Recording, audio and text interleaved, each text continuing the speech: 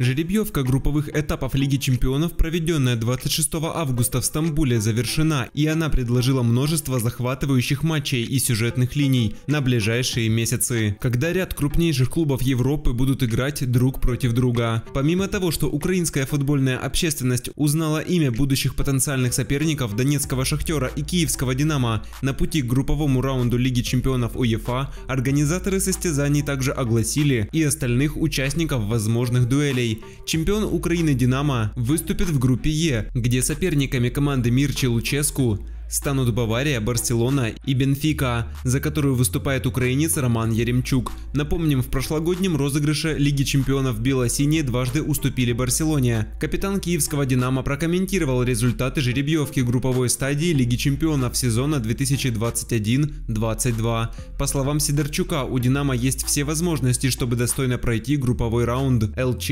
Он отметил, что перед жеребьевкой не было смысла надеяться на какой-то удобный вариант группы. Это Лига чемпионов тут собраны лучшие команды континента, и все разговоры на тему повезло или не повезло с жеребьевкой не имеют значения. Вице-чемпион страны Шахтер поборется за выход из квартета D с Интером.